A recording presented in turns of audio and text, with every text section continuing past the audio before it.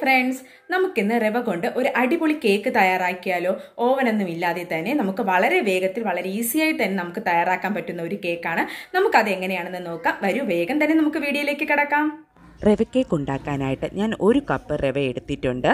കണ്ടല്ലോ ഇതുപോലെ ഒരു കപ്പ് റവ എടുത്തിട്ടുണ്ട്. ഇതേ ഒരു കപ്പിൽ തന്നെയാണ് ഞാൻ അര കപ്പ് പൊടിച്ച പഞ്ചസാരയും കൂടി ഞാൻ ഇതിലേക്ക് ചേർക്കുന്നുണ്ട്.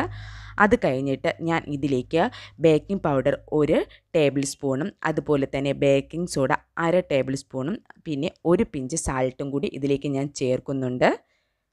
എന്നിട്ട് ഈ മാവ് നല്ലതുപോലെ തന്നെ സ്പൂണ് കൊണ്ട് ഞാനൊന്ന് മിക്സ് ചെയ്ത് കൊടുക്കുന്നുണ്ട്.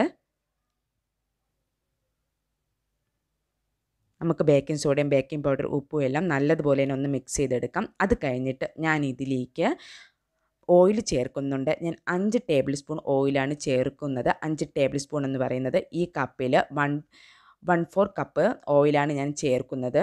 നാലിലൊന്ന്. എന്നിട്ട് നല്ലതുപോലെ തന്നെ നമുക്കൊന്ന് ഇത് മിക്സ് ചെയ്ത് കൊടുക്കാം.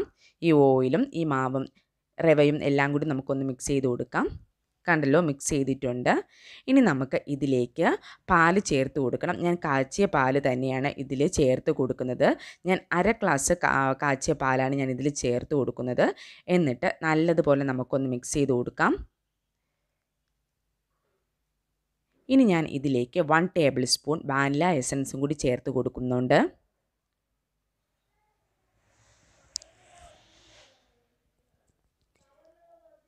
ഇനി അതും കൂടി ചേർത്ത് നമുക്ക് നല്ലതുപോലെ ഒന്ന് മിക്സ് ചെയ്ത് നമുക്കൊരു ഇരുപത് മിനിറ്റ് നമുക്കൊന്ന് മൂടി വയ്ക്കണം ഇനി ഇരുപത് മിനിറ്റ് കഴിഞ്ഞ് നമുക്ക് കാണാം ഇരുപത് മിനിറ്റ് ആയിട്ടുണ്ട്.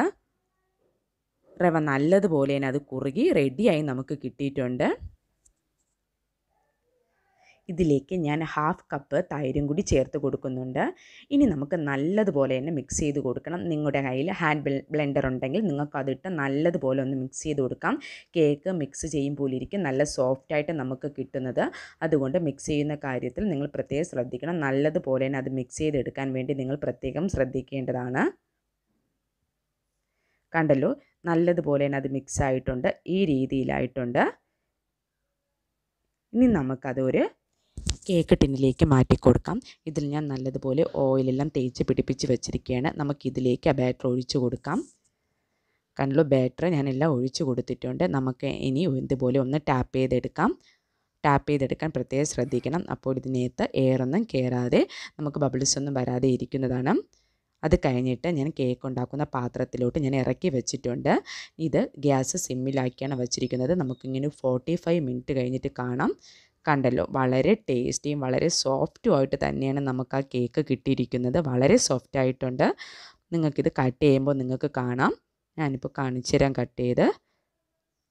കണ്ടല്ലോ ഇത് വളരെ സോഫ്റ്റായിട്ട് തന്നെയാണ് നമുക്കത് കിട്ടിയിരിക്കുന്നത്. തീർച്ചയായിട്ടും നിങ്ങളിത് ട്രൈ ചെയ്ത് നോക്കണം.